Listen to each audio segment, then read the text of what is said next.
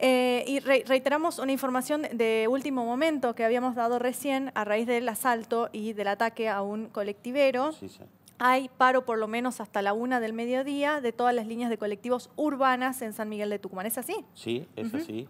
¿Qué es lo que ocurrió? Buen día. Eh, bueno, eh, digamos que fueron la provincia, el Gran San Miguel de Tucumán vivió unas horas de extrema violencia.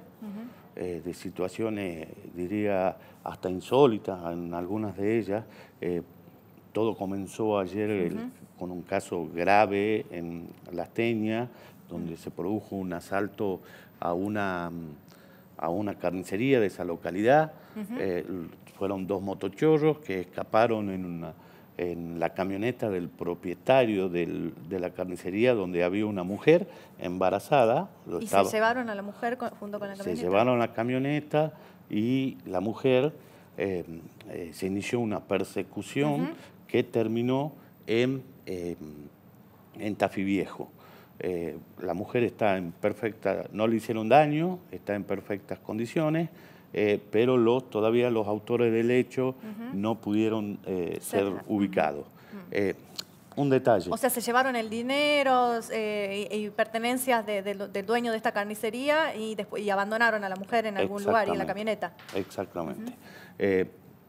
bueno, y hoy a la madrugada se produjo un otro violento episodio. Una vez más, un chofer de colectivo fue atacado por un asaltante. Esto ocurrió en, Villa Amalia, eh, donde una persona eh, no se entiende bien eh, por qué intentó, lo, intentó asaltarlo cuando se estaba por iniciar su servicio a las 5 menos cuarto de la mañana, sin pasajeros, y lo atacó salvajemente.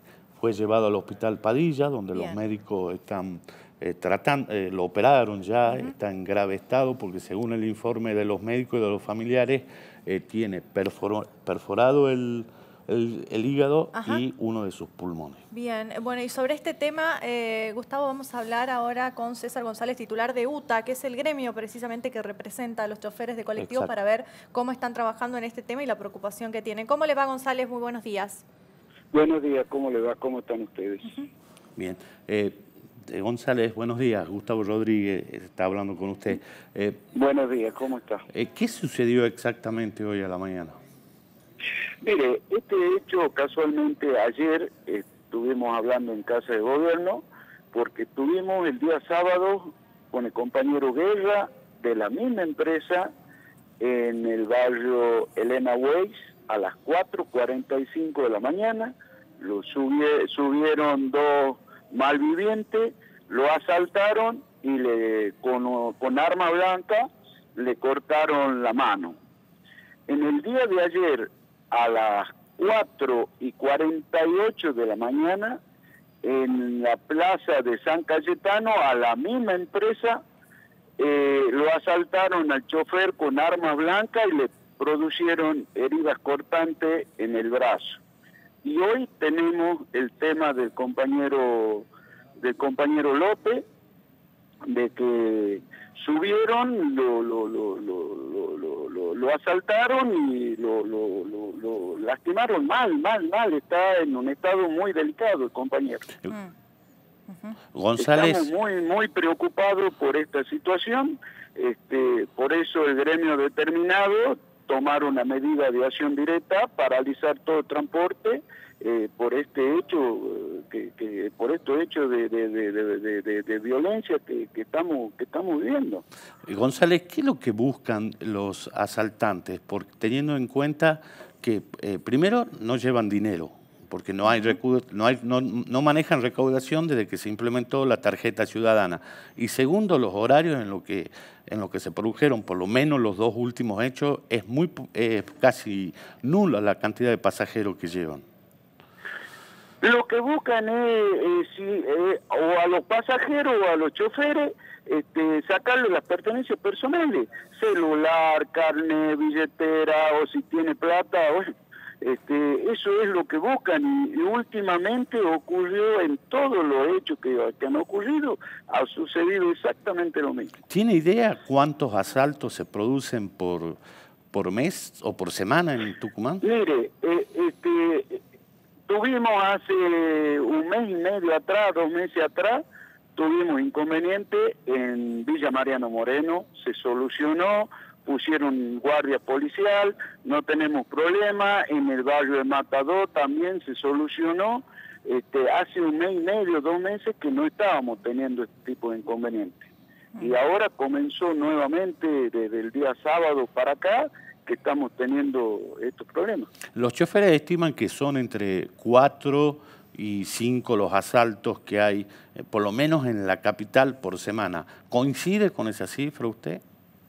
Mire, lo que nosotros tenemos, lo que tenemos conocimiento eh, es lo que pasó con el compañero de la línea 4 en el Mercosur y lo que le acabo de comentar de los compañeros de la línea 10, después no, no hubo otro hecho. ¿Qué pasa con el sistema de eh, botón antipánico? ¿Están funcionando, no está funcionando? Mire, el botón antipánico funciona, o sea, accionan el botón antipánico, a veces no le dan tiempo ni siquiera a accionar el botón antipánico. Eh, se rumoreaba... O sea, en, ese sentido el botón antipánico hoy ha quedado obsoleto porque suben, eh, son cosas de, de, de, minuto, un minuto, un minuto y medio y...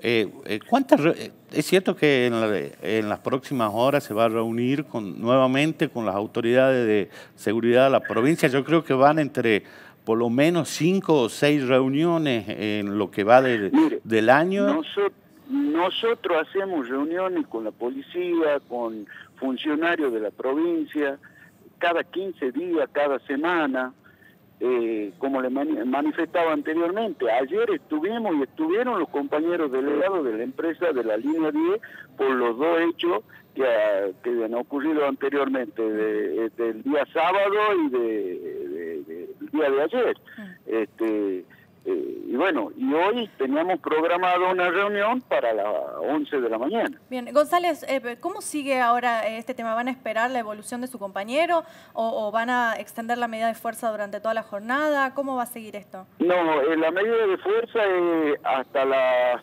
13 horas.